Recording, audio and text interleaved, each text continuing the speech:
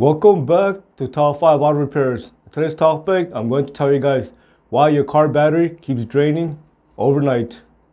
If you try to start the engine and the starter does not have enough power to crank the engine, maybe nothing is draining your battery. Maybe you have an old battery and it's time to replace it.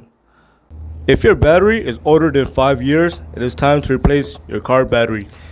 You can look for a label on the battery and it, it will tell you when the battery was manufactured. As you can see over here, this was manufactured in March 2023.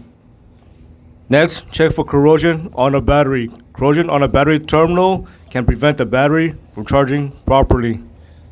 Next, check for leaks on a battery casing. If you see leaks coming out of the battery casing, there's a good chance the battery needs to be replaced.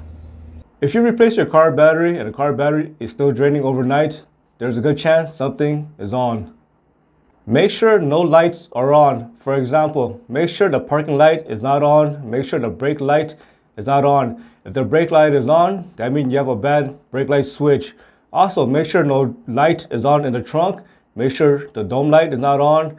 And also, make sure the light in the glove box is not on. If the glove box is broken, the glove box may not close all the way and this can cause the glove box light to stay on. If you have aftermarket electronics such as a sound system or navigation, make sure those components are off when the vehicle is off.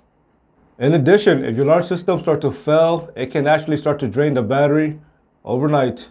If you change your car battery and you check everything and nothing seems to be on and you still can't figure out what the problem is, it is time to test for a parasitic drain. To check for parasitic drain, you will need a basic test light. You will need a needle nose plier to remove the fuse and relay. And you'll need basic ratchet or wrench to disconnect the battery terminal.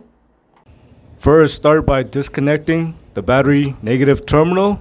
Use your ratchet and socket or wrench and go ahead and disconnect the battery terminal.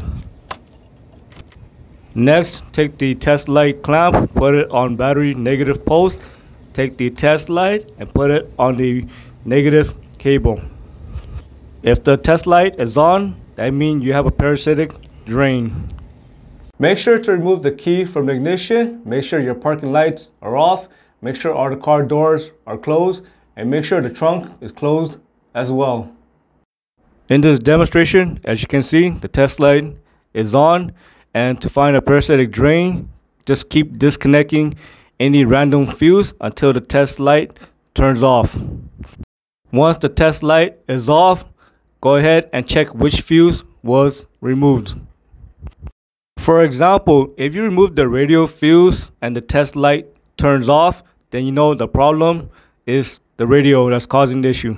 And you still can't find a problem after conducting a parasitic drain test, maybe you have a charging issue and the battery is extremely weak for not being properly charged.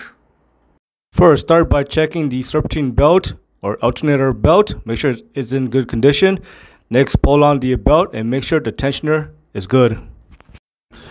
Next, start your vehicle and set the multimeter to voltage.